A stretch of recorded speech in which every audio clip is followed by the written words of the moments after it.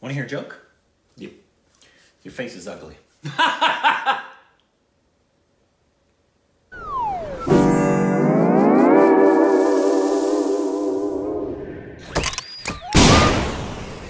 welcome back to our Stupid Reactions Idiots. I'm Korbin with a K Miles. This is Rick with an idiot Segall. Mm-hmm. If you know what I'm go and smash the like button, subscribe, and ring that little bell to be part of the notification squad, por favor. Belly issues. Please follow us on Instagram, um, Twitter, for more juicy content.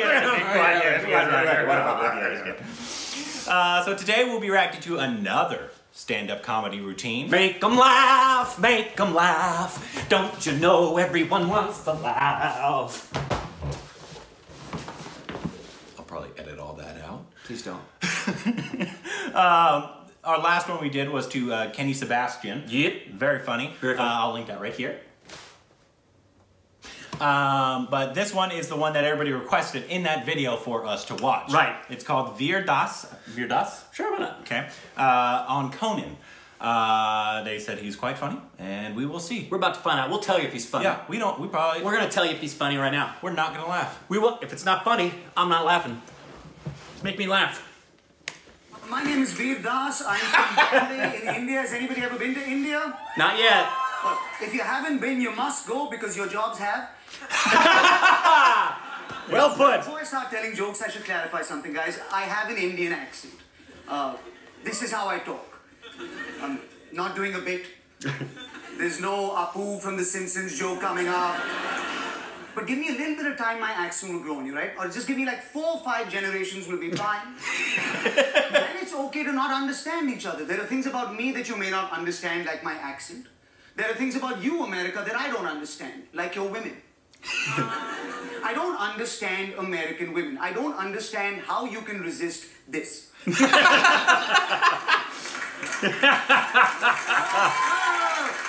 Have you tried Indian yet, ladies? Have you tried Indian? Oh, you must. Once you go brown, the other colors let you down. there are two Mexicans in the back, like, write this shit down, man. I don't mean to insult Mexicans. I'm just a comedian. I'm not your president. Oh, Yeah! Everybody's complaining too much. You have to work this out, guys. Everybody's like, man, we didn't choose this guy. Now we gotta live with him. We didn't vote for this guy. Now we gotta live with him. To you Americans, that's a president. To most Indians, that's a marriage. that's what Donald Trump is. He's your arranged marriage. Because in the most literal sense, your parents picked this guy out for you. Oh, but it's a good time to be Indian in the world. Not the best time to be brown, but if you're gonna be brown, Indian is the best brown. Think about where all the other brown people on the planet come from. Indians, we are the top of that food chain. Indians, we are the white people of brown people. That's a great shirt. That, that's fantastic. Because when we get shot, there's an investigation, ladies and gentlemen. Oh. I'm not worried about hate crime. I'm Hindu. If you murder me, I get karma. I'll come back as Beyonce. and there's religious phobia because I believe that the world is changing and religion can't keep up. I feel like we need to update every major religion in the world. Just take every religion and give it to the company Apple. Every six months, Apple can update and relaunch the religion to the world. How nice would that be? That's what we need. We need Islam 6S, ladies and gentlemen. We need Jesus Pro. You would slow terrorism down. Can you imagine how much you would slow terrorism down if every time some nut job wanted to commit a jihad, you first had to sign a new online agreement with Apple. so first you had to get a jihad ID. Then you had to sync all your bombs in your devices to jihad ID. Except that one bomb didn't work with the old version of iTunes. And I had to download the new version of iTunes. That's very smart. You're all set to go up to heaven and get 72 virgins, but your iCloud only holds six virgins. My favorite part of that joke is just Android users going, what the hell is he talking about? But this is my dream, ladies and gentlemen, to be in America. Not for comedy, just breakfast. this is America's greatest achievement that nobody talks about. You have done things with breakfast cereal that bring tears to the eyes of immigrant children.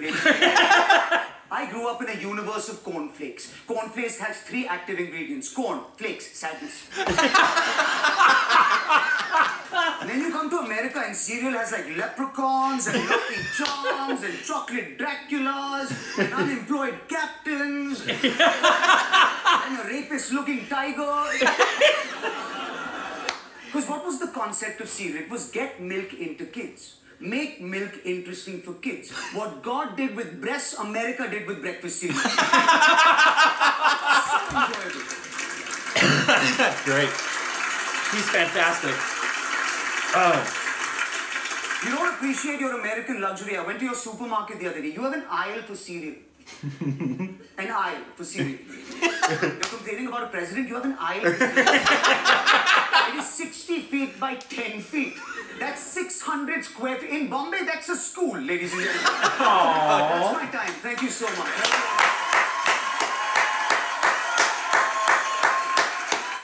He's very funny.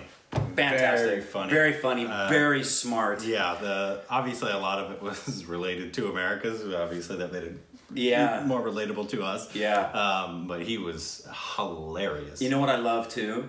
He can be insulting and self-deprecating, but he can he can be just flat out insulting Yeah. and get away with it. Yeah.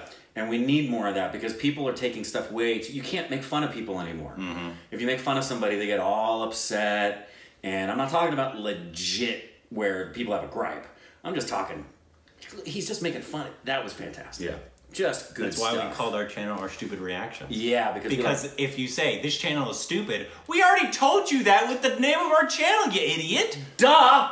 It's I'm hilarious. Yeah.